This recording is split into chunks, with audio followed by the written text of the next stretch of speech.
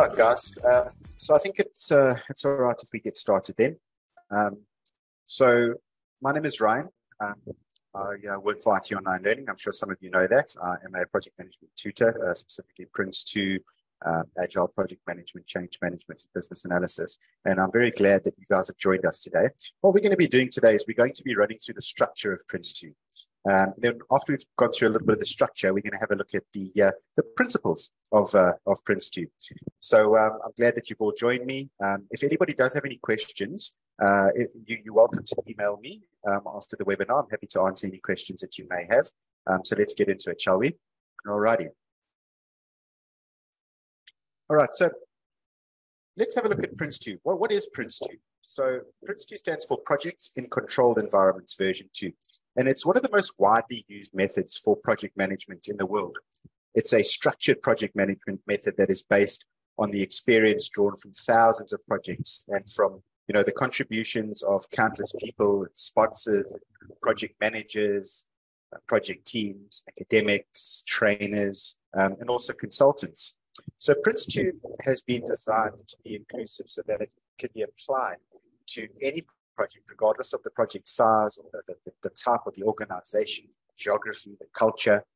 Uh, and, and it achieves this by separating the, the management of the project work from the specialist contributions, such as design or construction. So the specialist aspects of any type of project are easily integrated with the Prince 2 method and, um, and, and are used alongside Prince 2 uh, provide a very secure overall framework for, for the project work. Um, the method and know, um, it focuses on describing what needs to be done rather than prescribing how everything is done. Now, Prince 2 is based on established and best proven practice for project and governance of, of projects. It can be tailored to meet the specific needs of an organization and scale to the size and the complexity of, of different projects. So it's not a one size fits all type of thing. Prince 2 will be tailored, and we will look at that in the uh, in, in, in, our final principle. And we'll get to that uh, just now.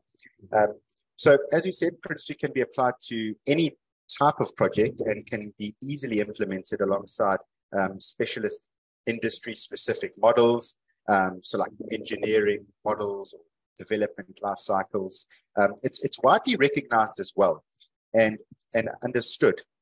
And it provides a common vocabulary for all the project uh, participants. In doing so, it promotes the consistency of the project work and the ability to reuse the project assets as well. It also facilitates staff mobility and it reduces the impact of personnel changes or handovers.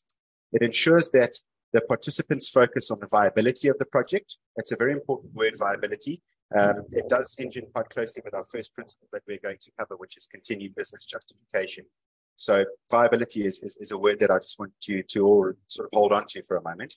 Um, and, and it, it looks at, at, at, the viability of the project in relation to the business case. Um, so the business case objectives, shall I say, rather than simply seeing the completion of the project as uh, as an end in itself, and it ensures that stakeholders, including sponsors and resource providers, are properly represented in the planning and the decision making process of the project. Now, it also promotes learning from project experience and continual improvement in organizations. It's supported by a worldwide network of examination institutes uh, accredited training bodies and consultancy organizations, and also Axelos themselves um, and their consulting partners who can actually supply expert support for Prince 2 projects um, for organizations that are planning to maybe adopt Prince 2. Because Prince 2 is inclusive and based on proven principles, organizations adopting the method as a standard can substantially improve their organizational capability and their maturity across multiple areas of business activity, such as uh, business change, construction, IT, mergers, acquisitions, uh, research, as well as uh, product development. So with that being said, everyone, let's uh, focus on, on, on the sort of structure of Prince 2 and, and get into it a little bit more. Um, so we're just going to move on to our, our next slide over here and have a look at the, uh, the actual structure of Prince 2. Now, the Prince 2 method addresses project management with four integrated elements. We have got principles, we've got processes, if you have a look at the slide over here, we've got themes, and then we've got the sort of wider project uh, environment as well. So that's what we would sort of look at as our integrated elements of, of Prince2. So Prince2 principles, they're, they're guiding obligations. Um, they, they, they help us to have good practice and they determine whether the project is actually using Prince2 appropriately or if it's going to actually be a, uh, a Prince2 uh, project. So let's have a look at uh, some of these principles then. Um, you know, if you're not applying these principles, it's very important to note that in Prince2 we have seven principles, seven processes, and seven themes. If we're not going to be using all of these principles, we wouldn't be able to actually call it a Prince2 project then, because each and every one of them are important. And I'd like to have a look at each and every one of those um, right now. So let's let's have a look at um, at, at the very next slide then, shall we? Um, before I go to the first principle, I just want to answer a question over here. So there was a question, you know, what, what actually makes a project a Prince2 project um, that I get asked quite often. So what makes a Prince2 project um, actually noted as Prince2? Well, the flexibility about how Prince2 can be applied creates the risk that a project that is claimed to be following Prince2 may be doing so in name only. So Prince2 therefore sets up some criteria that um, that makes a project a Prince2 project. And I'd like to briefly look at that. So for project to be following Prince2, um, as a minimum, it must be possible to demonstrate that the project is actually applying the Prince2 principles, that it is meeting the minimum requirements that are set out in the Prince2 themes, that the, the project's processes satisfy the purpose of the objectives, um, and that they're either using Prince2's recommended techniques or perhaps um, equivalent techniques or alternatives. Um, so the principles of Prince2, um, in a nutshell, quickly, would be continued business justification, learn from experience, define roles and responsibilities, managed by stages, managed by exception, focus on the product, and finally tailor to suit the project environment. Now, let's uh, let's let's go into the principles and we can go and have a look at our very first principle, which is a very very important one, and I'd just like to sort of spend a moment on this particular principle. Um, the first one is called continued business justification. Now, this is very, very important, quite central to Prince2, because Prince2 projects have continued business justification. All right. There's a justifiable reason for starting the project. The justification gets recorded, it gets approved, and the justification needs to remain valid and it gets revalidated throughout the life cycle and throughout the processes of the Prince2 project itself. So in most organizations, the business justification is usually documented in some sort of a business case.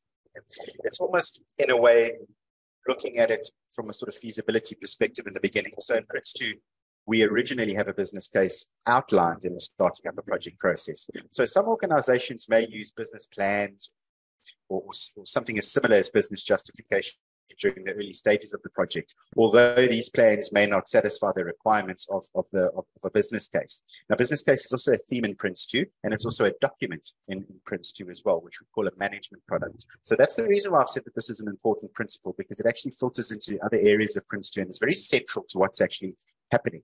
Because business justification is something that is very, very important. If your, if your project doesn't show that it is providing you with a return on your investment and that it can't justify its existence at various points throughout the project.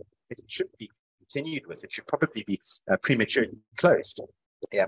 So the format and formality of document uh, documentation may vary depending on the organizational standards or the needs and the circumstances. But the business justification drives our decision making. It's very important to remember that. Um, it ensures that the project remains aligned with the uh, benefits that are being sought um, to actually contribute to the business objectives. So organizations that lack rigor in business justification may find that uh, you know that, that that projects proceed even when there are very sort of few real benefits to be realized. And when a project only has you know tentative associations with corporate program management or, or customer strategies, you know, we, we are starting to, to, to play around a little bit there. So poor alignment with corporate program management or customer strategies can also result in organizations having projects that have mutually, you know, inconsistent objectives or duplicated objectives. So business justification is something that we originally need to establish very early in our project.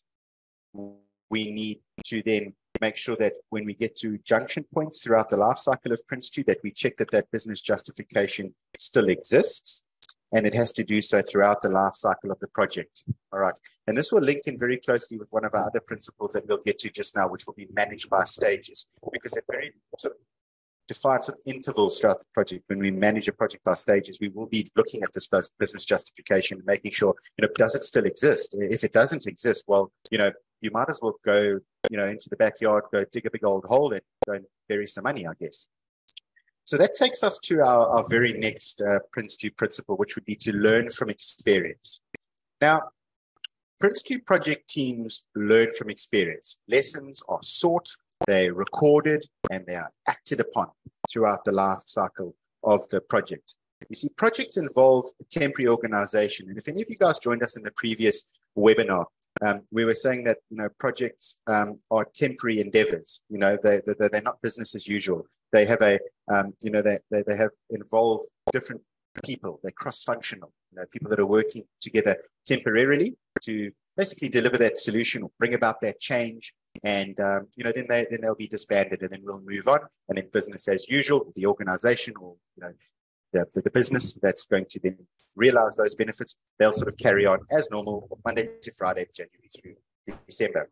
So because projects involve temporary organizations for a finite timescale and for a specific business purpose, um, a common characteristic is that projects include an element of, of uniqueness such that it cannot be managed by the existing line management or, or functional units. So it is this element of uniqueness that makes projects challenging, as the temporary team may not have the experience or the, you know of, of the project like the one that's being undertaken. So learning from experience takes place throughout the Prince2 project. And it's very much like life, I guess. We we tend to learn lessons. We, we all tend to make mistakes. I don't know about you guys, but um, we all certainly make mistakes in life and we we try our very best to learn from those mistakes. So so learn from experience takes place throughout Prince2. It's when, when we start up a project, uh, previous or, or, similar projects should be reviewed to see if lessons could be applied. Uh, if, if the project is the first for, for the people within the organization, then it's even more important to learn from others and, from projects that, you know, should they, they should sort of consider maybe seeking external experience you know any any little bit of information that we can take on board that can help us to improve our current project um, and the project ahead of us is, is certainly very very important. Now we say that we we seek lessons as the project starts and then as the the project progresses like i said the project should continue to learn. Um, you know lessons should be included in the relevant reports also the re, you know the relevant sort of reviews. The goal is to seek opportunities to implement improvements during the life of the project. Now, as the project closes as well, this is also just as important because the project should actually pass on lessons. So if we go back to the beginning when we were starting up a project, well, the lessons that were passed on from, from a previous project perhaps could help us when we start our project. Now, once again, when we close off our project, the project should pass on lessons. Unless lessons provoke change, they are only lessons identified and, and, and not lessons learned. Right. Now, I'm going to move on to the very next principle now, which will be defined roles and responsibilities in Prince2. So we're going to move on to our next slide over here, and we're going to have a look at defined roles and responsibilities. Now, a Prince2 project has defined and agreed roles and responsibilities within an organization structure that engages the, the business, the user, and the supplier stakeholder interests. Now, for those of you that are perhaps doing your Prince2 and you are a little bit into your Prince2, some of you might even be at the practitioner level right now, you'll be well aware that we have these sort of three very important um, areas that you know that are the three sort of key principal interests um, that will be represented on our project board within a, a project uh, using a, the Prince2 methodology. So what we have to look at is that a, a Prince2 project has defined and agreed roles and responsibilities. So projects involve people. So no amount of scheduling or control will help if the wrong people are involved, if the right people are not involved. So, or, or if people um, involved do not know what is expected of them or what is expected of others for that matter. So a project is typically cross-functional. We just mentioned that just now. Different people, different skills working together. So it may involve more than one organization, may involve a mix of full-time and part-time resources. So the management structures of the of the parties involved in the project are likely to be different with different priorities, objectives, and different interests in, in, in, in our project. So the day-to-day line management structures may not be designed for or, or, or suited to project work. To be successful, projects must have explicit project management team structure, which would consist of defined and agreed roles and responsibilities for the people involved in the project. And, and, and that is used as a means for effective communication between them. So all projects have the following primary sort of stakeholders. And when we look at it, Prince 2, if you have a look at the slide over here, we'll look at, at, at these three areas. Now, business, or we could say business sponsors. Um, for those of you doing your Prince 2, and for those of you hopefully that are thinking of doing your Prince 2, the, um, the executive on the project board would, would represent this side of things, the, the, the business side, you know, the money side of things, the business case. So the business sponsors endorse the objectives and ensure that the business investment provides value for money. Now, remember that point there that I've just made continued business justification. When we're going through a Prince 2 project, we are constantly looking you know for that for that business justification does this does this project still you know show return on investment does it make sense to invest money in it so this this particular area here where the business sponsor sits on this slide is usually going to be represented by executive and they you know more than likely will own the business case and will be you know looking for the value for money. We also have the user side of things, which um, would normally be represented by the senior user on the project board. Um, that's the sort of who element. So after the project is completed, um, users will use the product to enable the organization to, to gain the expected benefits. So, you know, if we were doing a project and we came into sort of a, a call center, maybe perhaps, and we had a project to install new telephone systems, new computers, um, perhaps new headsets like this, so that the people that are working in that particular environment can speak to people and they have their hands free to type and they've, they've got maybe two screens. You know, they would have identified that there was a change that needed to take place in that particular business. And that change would be the face of obviously a project coming in, a temporary organization to come in, the IT guys come in, they put the new computers in, they set everything up, they make sure that the operating systems work, they make sure that the phones have got connectivity, that there's no sort of audio issues, that um, everything is running smoothly. And then once that project team is disbanded, the, the people in that office are going to be users. They are going to use the new system. They're going to use the new headphones. They're going to realize the benefits of that new system to their working environment. It's going to make their work easier. It's going to make their work more productive. So the users use our, our, our, product basically, and they will be represented um, in those three particular areas on the project board by the senior user who represents the users. They, they, they use the products and gain the benefits. And then we've also got the supplier side. So suppliers, they provide the resources and the expertise required by the project. Um, these may be internal or, or external. So they provide resources, expertise, and skills so, for example, if we were looking at supplies back to our, our little office project over there, if we had um, those IT technicians that were coming in to come and install that system, and we had an electrician coming in to do the trunking, and we had um, perhaps you know people that were coming in to maybe do a little bit of building to put in new desks to you know to to fit two screens and that on all of those contractors all of those people that come in have got skill, they've got expertise, and they can come into into that project environment um, as suppliers because they're committing resources to to that particular project, which in turn the users will use. You know, and um, that's that's the that's pretty much how that one works. So that's defined roles and responsibilities. But another important thing about roles and responsibilities, guys, is that if you look at top line and bottom line principles, a, a top line principle would be to have defined roles and responsibilities. A bottom line principle would be lack of accountability. So now, if we don't explicitly know what somebody's role or what their responsibility is going to, could you imagine really important work need, needing to take place? And we've got um, we've got John and we've got Sally. All right, and um, it comes time for either a bit of an audit, or we get to the end of the stage and work needs to be completed and we're reporting on the progress and say, well, um, John, um, did you do the work? No, I thought Sally was going to do the work. Sally, what happened? Oh, I thought John was going to do it. You see, there was no explicit sort of defined role and what the responsibilities for those individuals would be.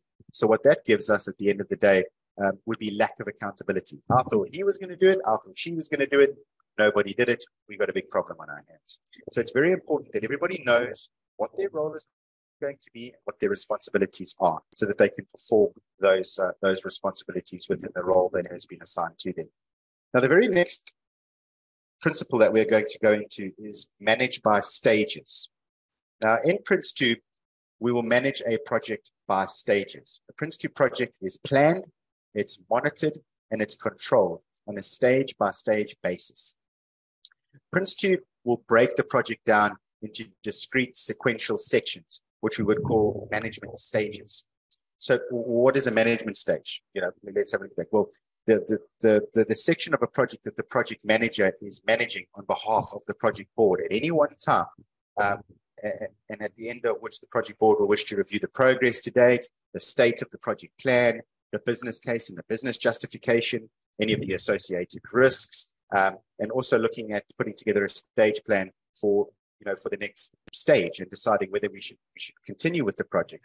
So Management stages are discrete, they sequential little sections. And the reason that we manage a Prince2 project by stages is also to deal with what we would call the planning horizon in project management. Now, if I had to ask you guys today, you know, what are you doing this weekend? Or perhaps what are you doing tonight? Some of you might say, well, you know, I'm going you know, with my significant other. I'm going out to go and watch a movie and to have some dinner. Somebody might be going off to watch the football. Somebody might be going off to have a game of darts. Um, somebody might be staying in to watch their favorite series and, um, you know, order in their favorite takeaway. You know, it's, it's, it's very close in terms of the time frame. So you kind of know what you were doing. But if I had to say to you, well, um, you know, what are your plans, um, you know, for the third Friday in October?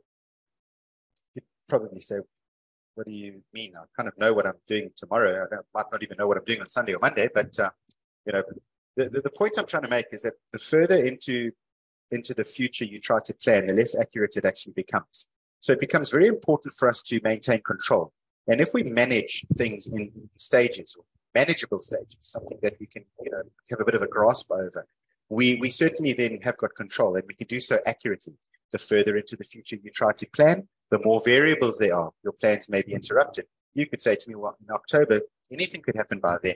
You know, I might have won the, the lotto and be sitting on my own private island, you know, in the next uh, in the next couple of months. Nobody knows. So it's important that we that we break Prince2 down into stages. Now, Prince2 projects must have a minimum of at least two management stages. Yeah.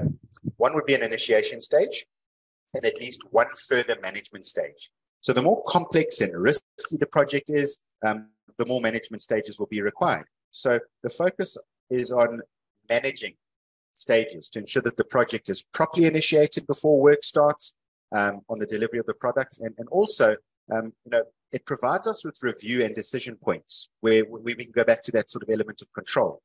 And, and, and those, those decision points give the project board the opportunity to assess the project's viability. Remember, continued business justification. And, and that's done at defined intervals rather than letting it run on in an uncontrolled manner, you know, almost like a like a snowball. You know, if if if, if you had a snowball, sort of you rolled it down the side of a mountain, if you're standing pretty close to it, in the beginning it would be quite small and manageable. You'd be able to pick it up, you'd probably be able to stop its momentum. But if you go, you know, a couple hundred yards down the mountain and the snowball starts to pick up a little bit of momentum, and suddenly you've got this big giant old snowball, and you say, stop snowball, all of a sudden that snowball will probably um, you know, sort of just take you with it for a ride. So the, the, the, the whole point of it all is that it's, it's there to, to help us have that type of control.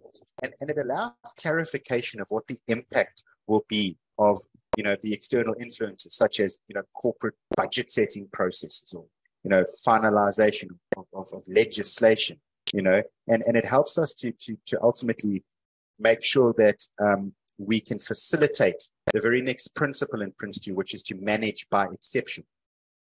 Now, it, it helps us to, to facilitate that because that particular that particular principle is, is about delegating authority.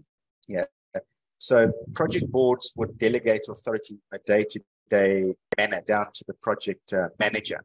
So that'll take us into the very next principle. So you'll see that a lot of these kind of lead into each other, and, and Prince2 is kind of like an interwoven web of, of interconnecting little components and parts that work together.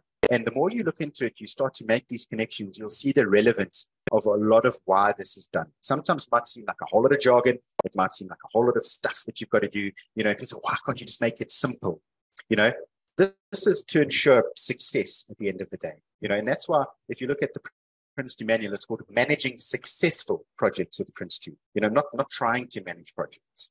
So we can go into manage by exception then, which will be the very next um, principle. Now, manage by exception, a Prince2 project has defined tolerances for, for each project objective, and, and that helps us to establish the limits of the delegated authority. Remember, Prince2 enables appropriate governance by defining very distinct responsibilities for directing, managing, and delivering the project, uh, and clearly defining the accountability at each level. So accountability is established. Um, and, and, and, just a little point there, I, I think when I said distinct responsibilities, you think back to the other principle of defined roles and responsibilities, is the responsibility element featuring. So our accountability is established by delegating authority from one management level to the next by setting tolerance levels against six aspects of performance for the respective level of, of the plan. Now, in Prince2, we'll have time scales, costs, quality, scope, benefits, and risks. These are six areas that our project would be impacted on. Six very, very important sort of areas to take into account. You know, um, if we if we have a look at those, well, what is what is the cost element? The cost is the degree of allowable overspend or underspend against an agreed budget. The the the, the time would be the, the degree to which the project is allowed to deliver later or perhaps deliver earlier than an agreed completion date. If we look at the, the quality element, well, quality is how much something can vary from the agreed quality criteria. For example, a, a project to produce um, a, uh, a new one of these Fitbit watches, um, you know, might have a target that the watch should work underwater to a depth of 50 meters with an allowable tolerance of plus or minus five meters. The next area is, uh, is scope. So scope is the allowable variation of the project's products. And for example, a project might be required to deliver all of the, the, the must do or mandatory requirements, but be allowed to deliver only 50% of the sort of should do or should have desirable, you know, sort of requirements.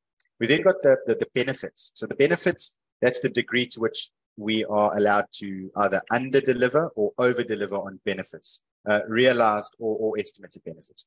Um, so, for example, the business case for, for a sales improvement project might have been modeled with a plus or minus 2% range of increased income you know, generation.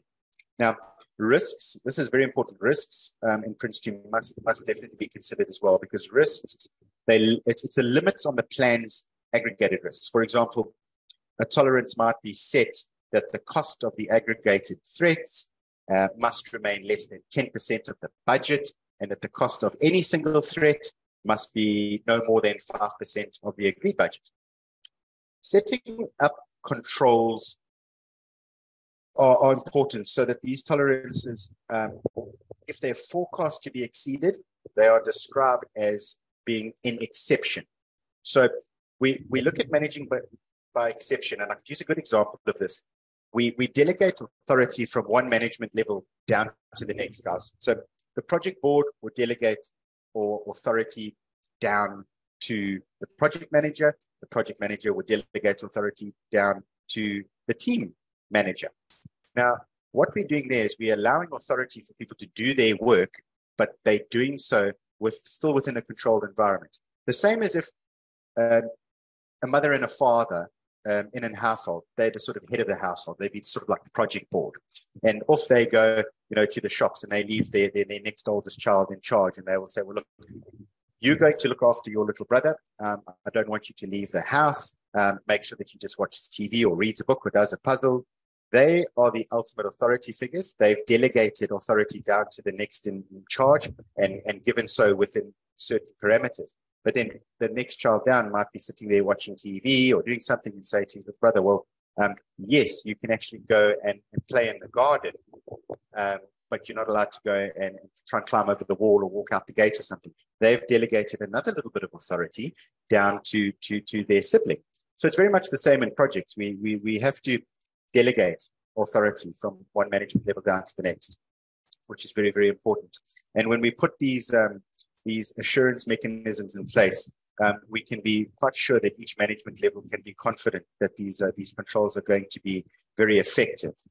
Now, very next principle that we're going to look at is to focus on products. Yeah, Prince2 projects focus on the definition and the delivery of products, in particular their quality requirements. Projects that focus on what the project needs to produce are generally more successful than projects whose primary focus would be, you know, the, the, the work activity. This is because the purpose of a project is to fulfill stakeholder expectations in accordance with business justification. And uh, to do this, there must be a common understanding of the products that, uh, that are required and the quality expectations for them. The purpose of a project can be interpreted in many different ways. Um, unless there's an explicit understanding of the, of the products that need to be produced and the criteria against which they will be individually approved or assessed, um, you know, under, under the, the principle of focusing on products, Prince2 requires that products are to be output orientated rather than work orientated. So Prince2 calls outputs products. An input or output, whether tangible or intangible, can be described in advance and created and tested. So Prince2 has two types of products. We would call one of them management products and the other one specialist products. A lot of you guys will know that management products normally relate to, to documentation utilized in Prince2, uh, baselines, records, reports. Um, and then specialist products, you know, are what we actually build, the actual product, the whole sort of idea of the project, what needs to be created. So an output orientated project is one that agrees and defines project's products prior to undertaking the activities that are actually required to produce them in the first place. So the set of agreed products defines the scope of a project and it provides the basis for planning and for control. The guidance uses the, the, the terms outputs and deliverables, and these are, are, are, sort of synonymously used with the term product. You know, the, the, the, the, the focus on products principle ensures that the project only carries out the work that directly contributes to the delivery of, of a product. That is, that the project does no more work than it needs to do to deliver its agreed product. It helps manage uncontrolled change. Uncontrolled change we could we could sort of call um, scope creep because it, it, ensures that all the changes are agreed in, in terms of how they will impact the, the project product and in the business justification for the project. It also reduces the risk of user dissatisfaction and acceptance disputes by agreeing at the start what will be produced by the project. Because sometimes people can be, you know, overly ambitious when it comes to, you know, when it comes to what they expect out of a project. And, and we need to explicitly know what needs to be done. If you go and you want to, let's just say, for example, help somebody to, you know, to, to build a house and, and, you know, they say to you, well, I need a big house, I need a strong house. We don't have a, a whole lot of information to work from. You know, how big do you need it? Does it need to be the size of a castle? Does it need to be a mansion? Does it, does it need to be just a reasonably sized family home? It needs to be a, strong house. What do you mean by a strong house? Does it need to have you know, strong walls around it? Does it need to be made out of a specific material? Uh, so it's important that we that we we do this all in the beginning of the project so that it is agreed upon. So we don't go through the life cycle of an entire project only to get to the end of the project and for the user acceptance to not be there. Somebody said, but that's not what I wanted. I don't, I don't need that. That's not what I asked you for in the beginning. So a Prince2 project user, it, it will use product descriptions to provide clarity by defining each product's purpose, its uh, composition, its derivation, its format, its quality, um, the quality criteria, and also the quality method by which it will be judged. So they provide the, the, the means to determine effort, estimates, and resource requirements, and dependencies, and activity schedules. Now, Projects that might use an agile delivery approach will initially focus on the purpose, derivation, and quality criteria of the pro uh, product and the project products to deliver sort of initial features. And then more detail about the composition and format will emerge as the product reaches its final state. So the focus on products principles supports almost every aspect of Prince2 planning, responsibilities, status reporting, quality, change control, scope, product acceptance, and, and, and importantly as well, um, risk management. Now, the final Prince2 principle is to tailor to suit the project environment. Now, let's move on to tailor to suit the, the, the project environment as our, our final uh, principle in Prince2. I hope everybody's still with me, yeah? Now, tailor to suit the project environment. This is also important because Prince2 is tailored. I, I, see a few people are putting up their hands. I do apologize. Um, we, we are we will try and see if we can maybe look at a, a question or two here, but we, um, we are strapped for a bit of time today. Um, so Prince2 is tailored to suit the project environment. It's tailored to suit the size, complexity, importance, team capability, and risk. Um, just bear with me for a second, guys. I, I do see that, um, that there's a, there's a few things going coming through here. Um, um, anonymous attendee, how will we receive handout notes in this presentation and will it be emailed to us? Please do email me and I'll be happy to provide you with any notes or answer any questions that you may have, anonymous attendee. Um, Emma, bringing the new stakeholders on board to the project, which part Prince is best to explain to them to understand what is expected of them and the uh, processes. Okay, just see. Um, Mr. Pavel over here, will the recording be shared with us after the webinar? I have COVID at the moment. I'm terribly sorry to hear that. I hope you feel a lot better soon.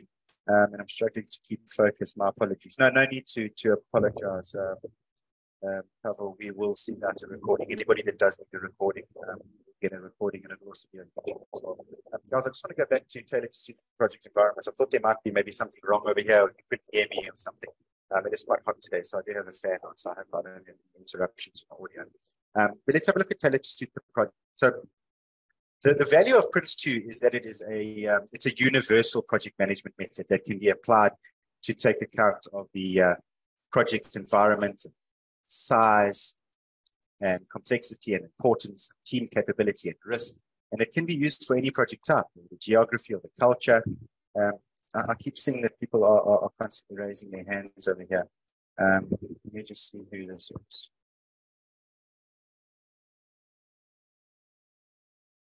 All right. Um, Laura and, uh, and Charity, I see you guys have raised your hands. Um, please do bear with us. I'm, I'm happy to have a chat with you um, after the webinar. Um, the, the hand keeps popping up on the screen over here, so I do apologize for that. All right, so where were we? Um, the, the, in tailored to suit the, the project, um, the project management method that is used needs to be appropriate for the project. Um, it needs to be aligned with the method and the, the business processes that may govern and support the project such as human resources or finance, procurement. Um, project controls are appropriate also to, to deliver the uh, according to the project scale and the complexity and importance and whatever the team's capability actually is and what risks there are. So and, and, and also looking at, at the frequency of the reporting and, and the reviews. Now, tailoring requires that the project board and the project manager need to make proactive choices and decisions on how Prince2 will be applied. So when tailoring Prince2, it's important to remember that effective project management requires information, not necessarily documents, and decisions, not necessarily meetings.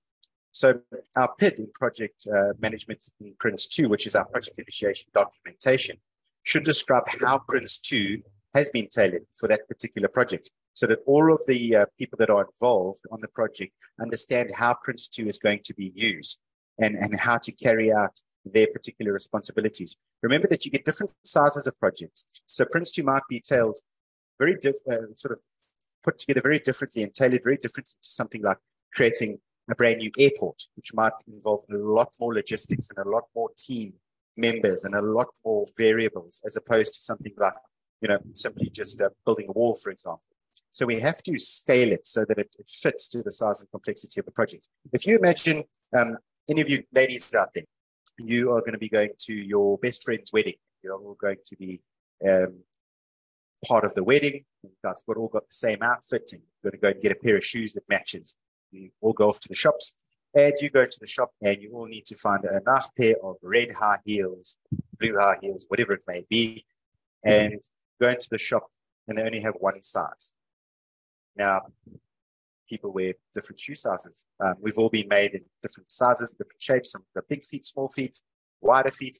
Now, if you go to that particular shop and that person that owns the shop only stocks one size, if there's five of you, maybe two of you might find that it fits you, the shoe fits you. And effectively, that doesn't really happen though, because when you go into a shoe shop, there's all different sizes. So you're more than likely to be able to try on a few sizes and see which one fits best.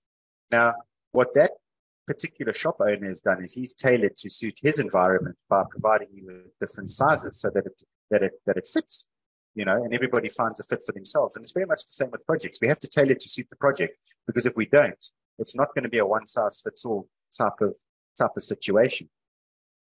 So when we look at at at tailoring if prince2 is not tailored it is unlikely that the project management effort and approach would be appropriate for the needs of the project and this can lead to very mechanistic project management at one extreme. So a method is followed without question, or very heroic project management uh, on the other extreme, where no method gets followed at all.